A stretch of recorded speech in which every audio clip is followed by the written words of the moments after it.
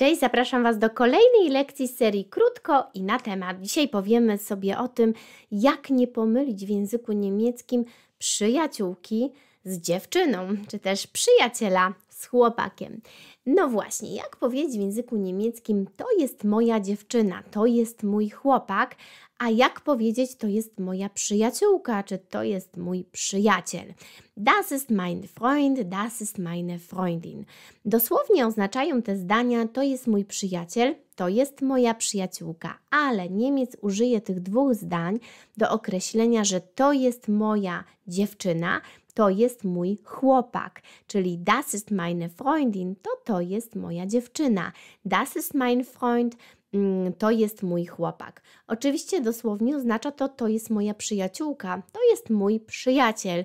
I w ten sposób zrozumiemy pięciolatka, który powie, to jest moja przyjaciółka, das ist meine Freundin, czyli wykorzystamy to dosłowne znaczenie. Ale aby na pewno nie doszło do pomyłki w zrozumieniu nas, to wtedy na przyjaciela mówimy Das ist eine Freundin von mir. To jest moja przyjaciółka.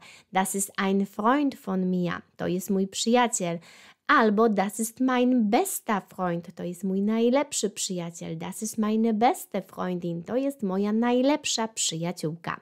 Niemcy również mm, rzeczownikiem rozróżniają y, kolegę, przyjaciela od kolegi z pracy.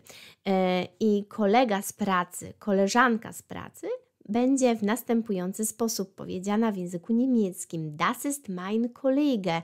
To jest mój kolega z pracy. Das ist meine Kollegin. To jest moja koleżanka z pracy. I to wszystko w naszym dzisiejszym spotkaniu, krótko i na temat. Do zobaczenia.